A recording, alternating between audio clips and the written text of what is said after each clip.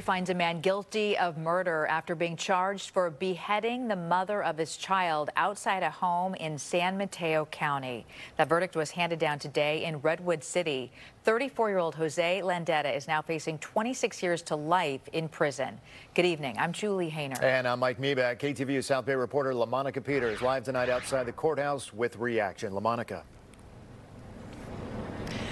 Attorney Robert Cummings says that his client was not in the right state of mind when he committed this crime, and they tried to get the jury to see that, but ultimately, in the end, he was found guilty of murder. Karina Castro was just 27 years old when she was beheaded last summer in broad daylight.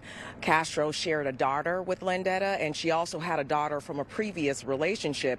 Now, this trial was not without some distractions. Landeta would pause while he was on the witness stand or freeze up. And just last week, he simply refused to appear in court during closing arguments.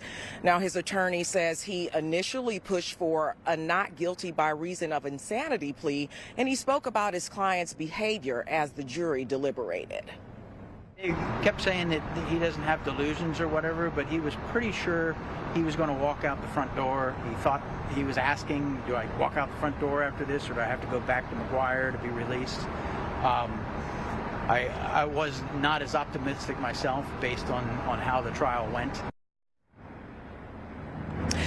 Cummings also said that the experts evaluating Landeta didn't believe that he was insane at the time of the crime, and that ultimately ultimately led to a guilty conviction. Now, he also told us that the jury is still considering whether or not premeditation was involved in this case, and that the jury jury will return to this location tomorrow to, to continue those discussions. Mike?